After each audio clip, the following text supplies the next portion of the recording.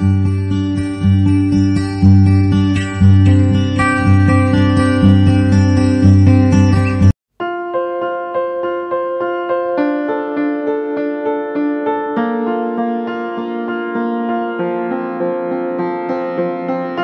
बस कैसे उम्मीद है कि आप सब खरीद होंगे। मैं बिल्कुल ठीक हूँ। आज आपके साथ रेसिपी शेयर करें उस रेसिपी का नाम है पटाटो स्नैक्स सिर्फ़ मौजूद चार चीज़ों से बनने वाली ये रेसिपी है पटाटो स्नैक्स का नाम है बहुत ही यमी और झटपट बनने बनने वाली ये रेसिपी है। बच्चों को बहुत ज़्यादा पसंद होती है ये रेसिपी क्योंकि पटाटो तो हर घर में ज़्यादा से ज़्यादा बनाए जाते हैं खाए जा रहे होते हैं। पराठों की रेसिपी से खाते हैं बहुत ही यमी और बहुत ही ज़्यादा डिलीशियस बनके तैयार होती है। वो भी घर की सिर्फ़ चार चीज़ों से। आलू तो हमेशा मौजूद होते होंगे आपके घर में। कॉर्नफ्लोर नमक और काली मिर्चें तो हमेशा मौजूद होती ही हैं। आपसे रिक्वेस्ट हमारे चैनल पर नए आज हमारे चैनल को लाइक करें सब्सक्राइब करें शेयर करें कमेंट्स करें, इसी तरह देखते रहे हमारा channel famous food thanks for watching तो चलते हैं प्रॉपर अपनी रेसिपी तो रेसिपी को करते हैं स्टार्ट अब बटाटो स्नैक्स बनाने की क्या क्या चीज़ों की रिक्वायरमेंट है वो ये है। आलू लिए हैं मीडियम साइज़ के साथ आलू लिए हमने इसे बॉयल करने का, इसका छिलका रिमूव कर दिया है और ये इस कंडीशन में आ चुके हैं।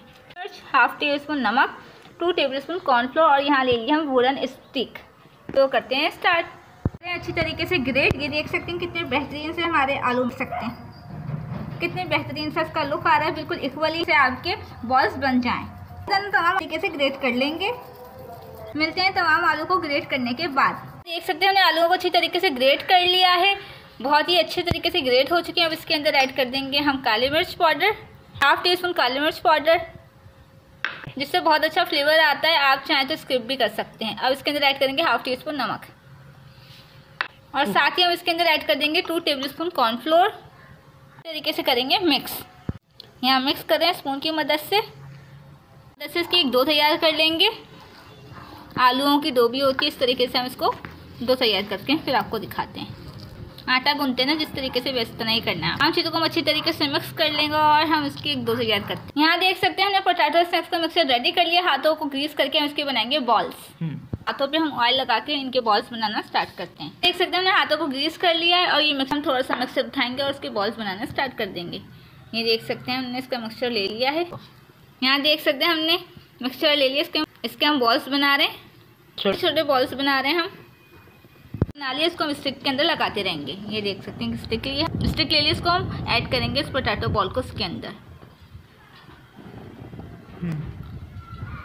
हम दूसरा बॉल भी रेडी कर लेंगे और इसी तरह लगाते रहेंगे। देख सकते हैं हमारे पोटैटो स्नैक्स रेडी हो चुके हैं इसी तरह तमाम पोटैटो स्नैक्स को हम रेडी कर लेंगे उसको हम करेंगे फ्राई हमारे पोटैटो स्नैक्स रेडी हो चुके हैं उसको हम करेंगे फ्राई स्नैक्स बनाने के लिए बनाने के लिए हमने कढ़ाई ली कढ़ाई के अंदर हमने ऑयल डाल दिया अच्छी तरीके से गर्म हो चुका है इसके अंदर ऐड कर देंगे हम पटाटो पटाटो स्टिक्स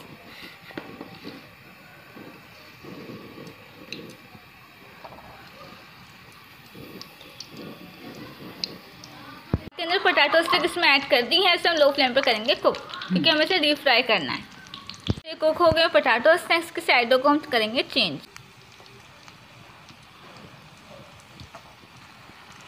कितना बेहतरीन से इस पर कलर आ चुका है, इसी तरह स्टिक पकड़ते जाएँगे, उसको हम साइडें चेंज साइडों को चेंज करते जा रहे हैं।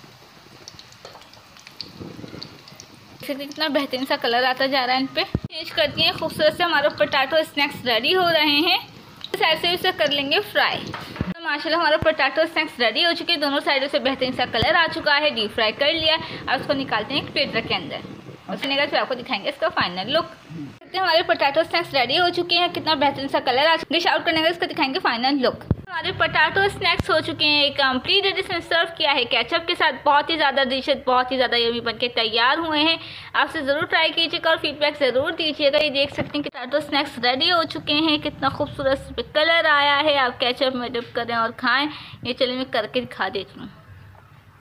वाह आलिशान बन के तैयार। बहुत ही हमें बहुत ही ज़्यादा टेस्टी पटाटो के फ्रेंच फ्राइज बना लेते हैं। फ्रेंच फ्राइज को भूल के अब ये बनाया पटाटो स्नैक्स बहुत ही यमी बहुत ही ज़्यादा डिलीशियस बन के तैयार होता है। बार बार आपका खाने का दिल चाहेगा, हमेशा फ्रेंच फ्राइज से आपका दिल भर चुका हो। इसीलिए हम आपके लिए लाए एक नई रेसिपी पटाटो स्नैक्स वो भी घर की, वो भी घर की चार चीज़ों से बनके तैयार होता है, बहुत ही यमी होता है, बहुत ही ज़्यादा डिलीशियस होता है। अगर आपको हमारी रेसिपी अच्छी लगे तो हमारी रेसिपी को लाइक करें सब्सक्राइब करें शेयर करें कमेंट्स करें, इसी तरह देखते रहे हमारा channel famous food thanks for watching